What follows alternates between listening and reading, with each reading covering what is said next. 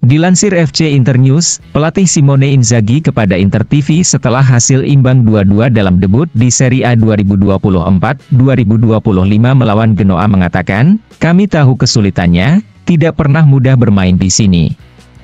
Kami kebobolan secara kebetulan, lalu kami melakukannya dengan baik untuk menyamakan kedudukan, lalu di babak kedua kami kurang jernih karena kelelahan. Dengan tiga penyerang kami menemukan gol, namun kami harus lebih jernih mempertahankannya setelah unggul terlebih dahulu pada menit ke-45. Kami harus bekerja, kami baru bersatu dalam waktu yang singkat. Selain tembakan Badelj di babak kedua, kami tidak kecolongan apa pun selain gol yang jelas harus kami hindari. Tentu saja saya akan memainkan ketiga striker itu lagi. Mereka bekerja dengan baik di lapangan, dan itu bisa dilakukan sejak awal atau saat pertandingan seperti pertandingan ini, serta kami memerlukan gol dari semua pemain, termasuk para gelandang.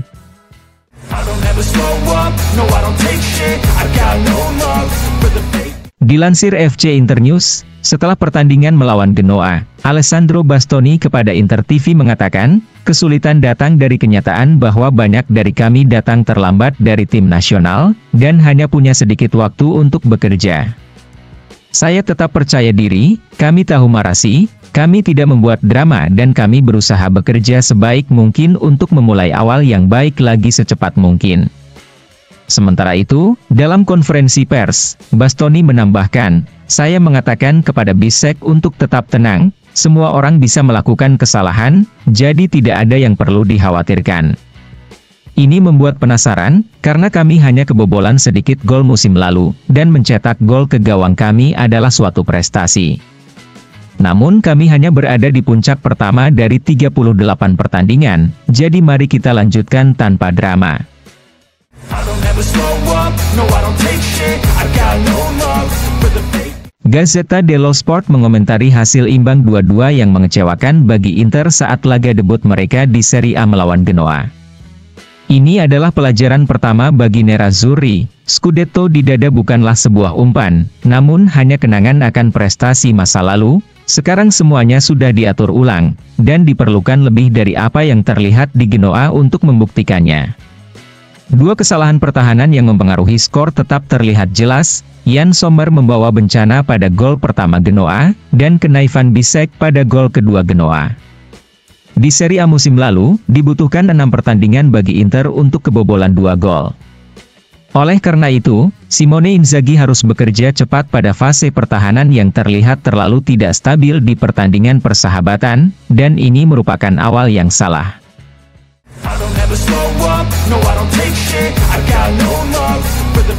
Dilansir FC Internews, Filippo Tramontana mengomentari hasil imbang 2-2 Inter melawan Genoa dengan mengatakan, kemenangan yang sepertinya sudah di tangan meski tampil melelahkan, dan saya tidak mengerti pilihan untuk menempatkan Lautaro yang kelelahan sebagai gelandang serang. Pertandingan dirusak oleh dua hal bodoh, Inter harus lebih berhati-hati, itulah sebabnya Inzaghi menekankan konsentrasi tinggi. I don't ever slow up, no I don't take shit I got no love for the fake Gazzetta dello Sport mengabarkan bahwa Nerazzurri telah menyiapkan tawaran sebesar 5 juta euro untuk mendapatkan Thomas Palacios. Ini adalah angka yang telah diputuskan untuk diinvestasikan oleh klub Nerazzurri, mereka akan bergerak pada awal minggu depan. Sementara itu, di lini serang, Nerazzurri akan melakukan segala cara untuk menjual Wakin Korea.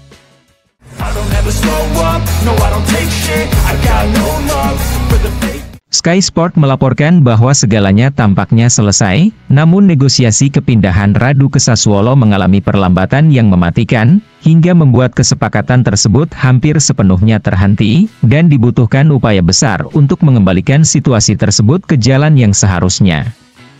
Ini adalah sebuah peluang bagi Sampdoria yang masih tertarik pada Radu untuk mendapatkannya di sisa bursa transfer musim panas ini.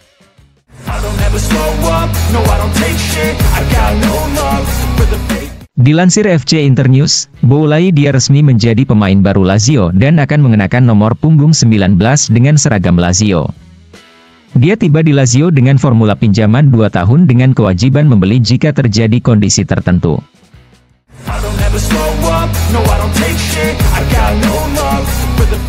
Arrigo Sacchi kepada Gazzetta dello Sport mengatakan, saya tidak melihat ada titik lemah dalam tim Nerazzurri.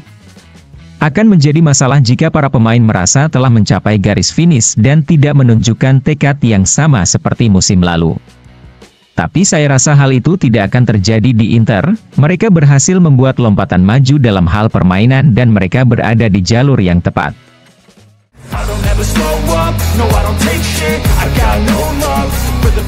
Fabio Capello kepada Gazzetta dello Sport mengatakan, di atas kertas Inter tidak memiliki titik lemah, tapi mungkin mereka kekurangan back tengah yang bisa menggantikan Acerbi, yang memiliki kecerdasan taktis yang luar biasa dan memimpin pertahanan dengan baik. Selebihnya, Inter masih merupakan tim dengan perlengkapan terbaik.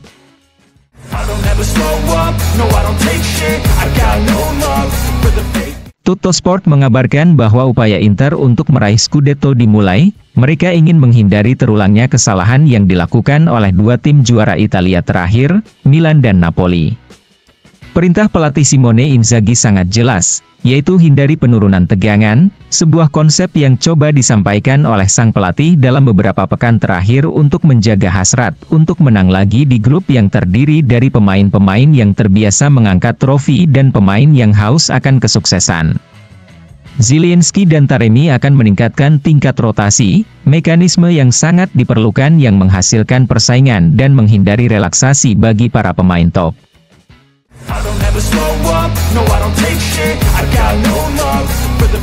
Paolo Kondo kepada Republika mengatakan, Inter adalah favorit alami karena keunggulan 19 poin yang mereka kumpulkan musim lalu, dan satu-satunya yang berubah di Inter hanyalah kepemilikan.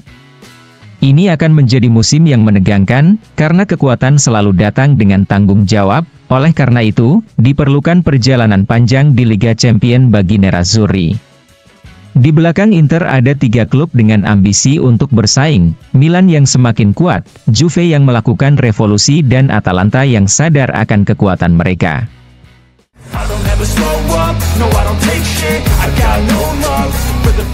Sky Sport melaporkan bahwa setelah Inter, Juventus, Napoli dan Milan, kini Atalanta mendekati Lazar Samardzic. Kesepakatan dengan Udinese adalah 20 juta euro plus bonus, dan operasi ini akan membebaskan jalan Kop Mainers ke Juventus.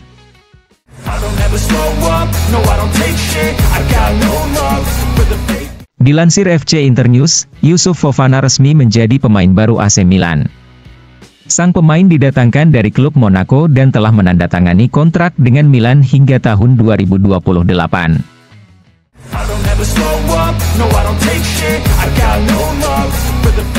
FC Internews melaporkan bahwa tidak ada kedamaian bagi pelatih Atalanta, Gian Piero Gasperini. Setelah kehilangan Zaniolo dan Skamaka sebelum kejuaraan dimulai, kini sang pelatih juga kehilangan Kolasinac dan Toloy. Kolasinac mengalami cedera tingkat 1 pada otot bisep femoralis paha kanannya saat melawan Real Madrid, sementara Tola menderita cedera yang sama dengan Kolasinac tetapi di paha kirinya saat laga persahabatan melawan ST Pauli. Bagi keduanya, waktu pemulihan bisa dihitung sekitar 10 hari, sehingga menempatkan mereka dalam risiko untuk pertandingan tanggal 30 Agustus di San Siro melawan Inter.